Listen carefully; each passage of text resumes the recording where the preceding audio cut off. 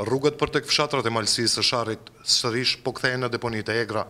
Mbeturinat e hedhura vend e pa vend shihen gati në çdo kthesë të rrugës, ndërsa nuk kursehen as vendet me gjelbrim.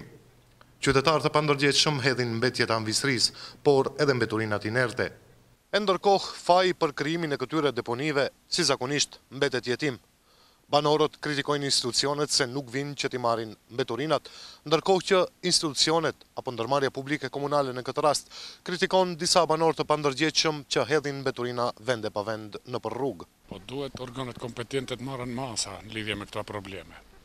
Se tek e fundit ne si fshat, si vendbanim mund të vetorganizohena për ta mirëmbajt fshatin tonë. E po ashtu ndodhin gjërat, paguhet tatim po nuk ndërmarrin asgjë. Prandaj je i detyruar të ndërmarrësh vetë masa në lidhje me mbajtjen e higjienës pastërtisë fshatit. Po duhet rregullohen, duhet rrugët janë hall, as pastërti, as kurgjo, ndonjëherë ne na lënë edhe ato që i qesëm.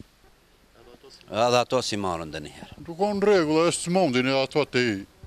Martët mërkurën vijnë i marrën me traktuar tash dy muj me kap koha tre muj koha e keqe s'vijnë hiq. Po be normalisht ajo është më shumë ndikon te banorët te ne ne nuk duhet e di. Nga Ndërmarrja Publike Komunale në Tetovë thonë se problem për ta paraqet hedhja e mbeturinave ndërtimore.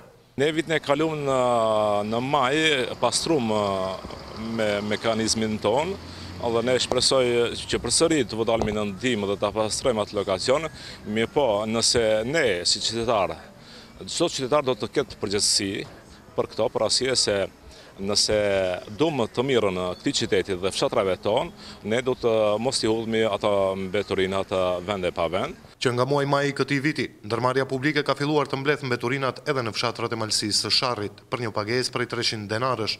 Por, as kjo masë, nuk ka ndikuar që banorët të mos vazhdojnë hedhjen e mbeturinave përskaj rrugëve.